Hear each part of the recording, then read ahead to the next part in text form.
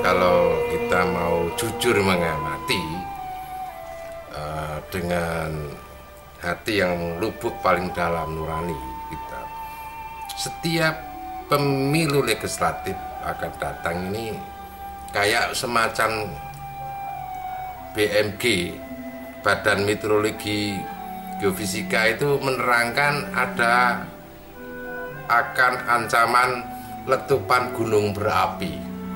Sehingga ada klasifikasi eh, ada istilahnya siaga 1, 2, 3 dan seterusnya. Nah gambarannya hampir seperti itu sebab eh, ketika nanti pas pemilu legislatif itu jereng gitu kayak ada semacam hujan abu. Jadi pedut peteng dedet sing nek ada kepengen weruh ya harus dengan kacamata. Kalau kepengen jalan harus dengan penutup. Apa itu napas? Kalau misalnya debunya itu rada tebal disapu angeli gak member. Jadi ini yang saya maksudkan ketika pemilu legislatif mulai istilahnya berlangsung ini ada yang namanya hujan duit. Money politik nah money politik dipandang dari sudut apa pun termasuk dari undang-undang dari sisi keagamaan. Ini kan anaknya negatif. Adanya cuma hal yang salah hal yang mencerminkan ketidakjujuran. Baik itu dilakukan oleh caleg maupun uh, yang akan menerima masyarakat. Ini sulit. Sampai-sampai uh, sudah ada semacam uh, warning warning yang dilakukan oleh KPU dalam hal ini pemerintah dalam hal ini itu seorang mandi. Sebab apa? Uh, sebab kayaknya fenomena hujan debu ini kan merata. Hampir merata di daerah-daerah tertentu. Misalnya nang Temanggung itu Temanggung udah nawu kabeh. Ini kan oke kancane ngono loh bermain money politik di situ itu nah inilah yang kemudian ada semacam hal yang boleh saya katakan kayak uh, semacam pandemi pandemiknya semacam penyakit AIDS itu kan meledosnya itu kan seperti itu. Nah, ada hal-hal yang mungkin kadang-kadang saya tunggu. Mestinya ini sing dosen yang jihad, jihad, visabilillah. Jihad kan selalu dikaitkan dengan visabilillah. Artinya dengan atas nama Allah. Ini wong-wong sing do kaya ngono kuwe sing do senengane jihad-jihad tuh nang suasana pemilu kan pemilu legislatif itu malah darah muncul apa gerakan-gerakan sing jihad betul padahal kalau kita mau jihad yang betul dan jihad yang benar pada saat pemilu legislatif ya ini uh, jangan uh, membiarkan derasnya money politik orang malah melu-melu loh malah menghalalkan dan sebagainya. Katanya dengan dalih sodako dan seterusnya. Padahal alel padahal yang namanya undang-undang. Itu kan ya juga digarap legislatif dan eksekutif saat undang-undang pemilu yang meng, meng, apa itu menggarisbawahi bahaya politik sehingga sampai diancam pidana. Itu kan itu disahkan bersama antara eksekutif dan legislatif ini koyo-koyo terjadi semacam pembiaran. Jadi gigai undang-undang sebaik-baiknya sing kan melakukan dong KPU karo pihak kepolisian aparat negara panwas.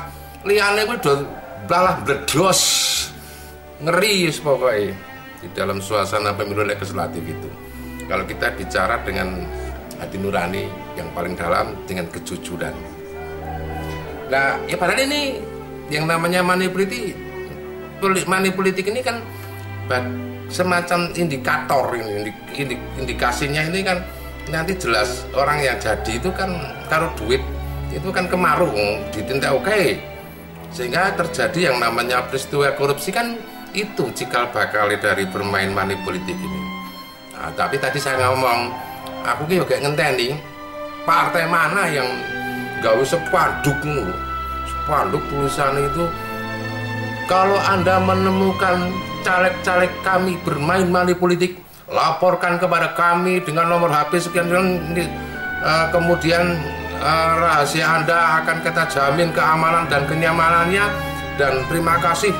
Selanjutnya caleg yang bersangkutan pasti saya pecat pasti saya coret. Ngira nono partai wali kayak kayak kan uh, partai sing nggak berani itu khawatir saya pernah ngomong soalnya orang ini apa sih? Padahal partai Islam. Uh, dia takut nah, nanti orang oleh milih. Padahal kursi ini jadi sidik jadi indikasi ini kan karena kan percaturan mengatur kebijakan pemerintah kan kalah. Idealisme idealisme partai sekarang uh, biarlah lah yang seneng main politik ya main politik sing ora seneng ya ya saya ono. Tapi ora nang politik itu memang ada jujur-jujur juga banyak cari tuh dora dadi. Enggak sing main politik enek kancane saya itu kemarin itu karena amplop sini selawewu kalah harus sing saya ketemu kan begitu. Lagi lo mulanya iki sing ngomong sing do seneng jihad bisa pilih lah ini mbok kayak kelompok merangi mana politik ngono lho Pak. Kita arep-arep tenan. Biar peduti kira peteng banget nang Temanggung. Aku ngomong Temanggung wae lah ora mang liyane. Liyane luweh parah ya pirang-pirang. Ini ini harus kita waspadai bersama yang namanya money politik ini. Sebab ini sangat-sangat berbahaya.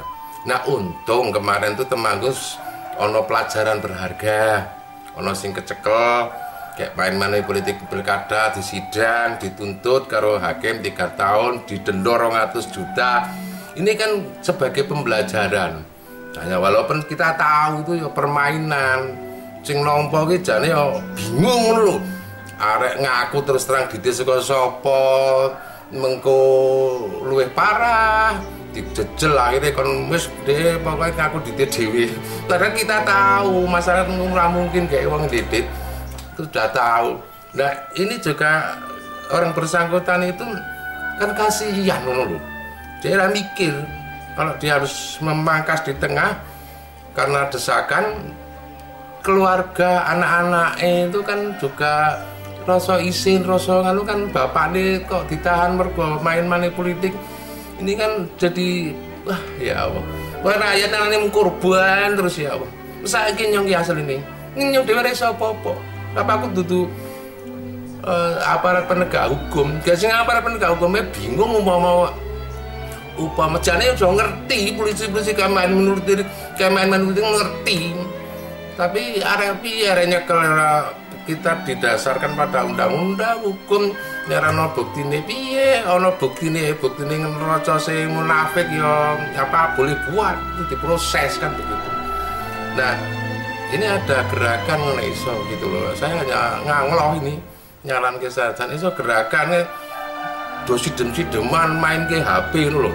Karena tamu main main politik di HP direkam lapor ke polisi kono wae ben sidik-sidik dipangkas gitu. Harapan saya temanggung aku mau temanggung kok. Itu nih iso bersih dari money politik dan besok terutama pada waktu pencalonan legislatif. Kalau tidak kasihan semuanya. Kader sing apik nang partai-partai ora do dadi mergo randidik sing goblok goblok malah do dadi mergo duit. Pemerintahane digoblok-goblok. Artinya pemimpinnya goblok-goblok susah rakyatnya tidak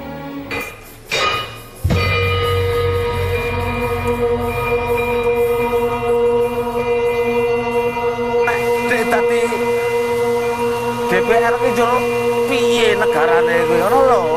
Ayo didol to Kang.